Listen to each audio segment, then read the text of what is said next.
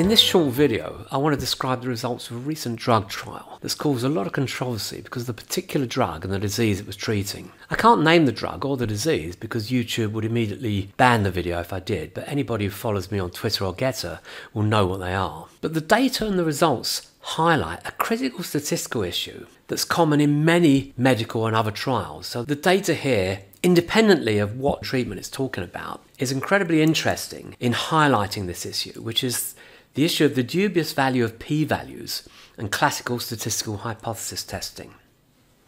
So this was a randomized controlled trial trying to determine if treatment T reduces mortality in people with disease D.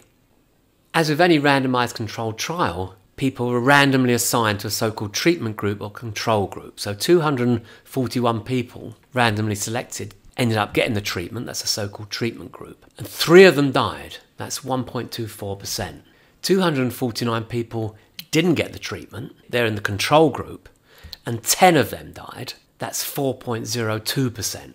We know there are no direct adverse reactions to treatment, so it's considered safe. And so the risk ratio for the treatment T on disease D, which is simply the percentage of those who die with the treatment divided by the percentage of those who die without the treatment, is 0.308. And because that risk ratio is less than 1, the data supports the hypothesis that the treatment T reduces mortality risk, because obviously the mortality rate in the treatment group is lower than the mortality rate in the control group. But the question is, is it sufficiently statistically significant to recommend use of the treatment? Before we go into that question, look at the data here. Would you be happy if your loved one with the disease were denied treatment T?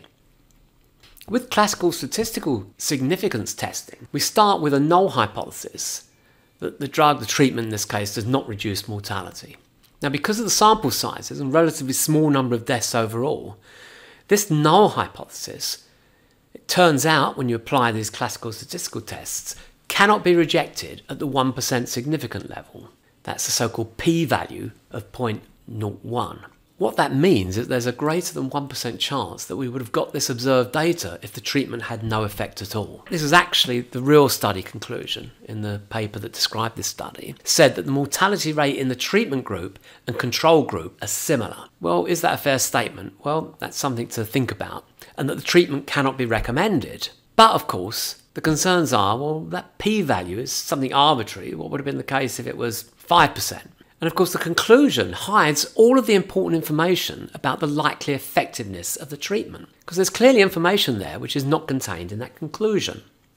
So, what I'm now going to describe is the so called Bayesian approach to hypothesis testing, which is far more informative. In particular, it provides full information about how much the data should revise our belief in the probability that the treatment is effective. And I'm going to do that by actually demonstrating the model in action. So here's our Bayesian model. It's actually a Bayesian network. At the top here, we've got these probability of death with the treatment and probability of death without the treatment. And these are defined before we start looking at any data. And in the absence of any previous data, we are assuming that each of these probabilities is the same and that each of them is equally likely to be any value between 0 and 1. So you can see this, this is defined as a so-called uniform 0 to 1 distribution, and we've got the same prior probability distribution here. The number of deaths that you'd observe in the treatment group is going to be dependent on the number that are in the treatment group and the probability of death with treatment. So the smaller that probability is, the lower the number of deaths that you'd expect here. And that expected number is a distribution that's defined as the binomial distribution, where the number of trials is a so-called is in this case the number of people in the treatment group, and the probability of success here is actually the probability of death with the treatment.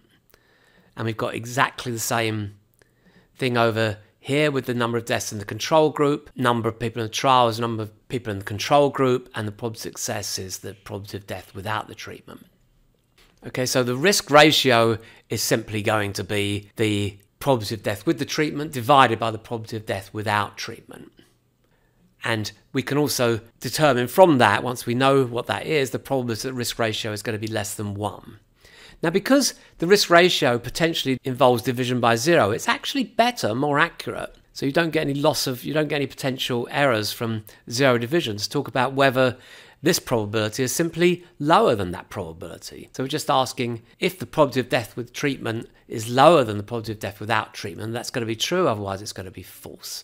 So what we're going to do now is enter the observed data. So we observed three deaths in the treatment group and we observed 10 deaths in the control group. And we're going to run the model and see what happens with these distributions. So you can see that they've been updated. We can now look at the revised so-called posterior probability of death with treatments. It's an uncertain probability distribution. It's got a median value of 0.0156, so that's 1.516%. So it's slightly different from simply dividing the 3 by the 241 because it's taken account of the prior uniform assumption here. And we've got the upper and lower bounds of this, so it's the 95% confidence interval range, which incidentally is different from the confidence interval range that you get from classical statistical testing. So don't think that these are the same. But that's going from 0.4% to 3.5%. And the probability of death without treatment that has a median value of 0.0426, so that's 4.26%. And the range there is 2.2% to 7.25%. And of course, we get the risk ratio, and here's the critical thing. Now, the median value is 0.356, but the lower and upper bounds here are 0.095 to 1.0571. So the upper bound is just above 1, and I say, although these bounds are slightly different in the Bayesian approach, it's the fact that it goes slightly above 1 here. That means there's a small probability, just over 3% probability, that the risk ratio is above 1. But we're still pretty confident. There's a 97% probability that the risk ratio is less than 1. And the same as there's a you know, almost 97% probability that probability of death with the treatment is lower than the probability of the death without treatment. So that's the full probability information we're given there. If a slightly higher p-value had been chosen, this would have been statistically significant. If we simply had observed one extra death in the control arm, then let's see how things change. We can see that the probability that the risk ratio is less than 1 is now less than 2%.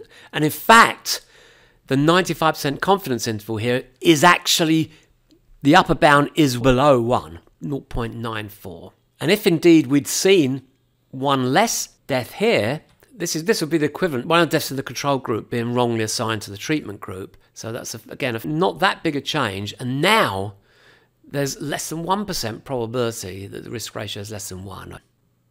So this is showing the, the power and the flexibility of the Bayesian approach as an alternative to classical statistics and the richer information that it provides, which suggests that the treatment is rather good.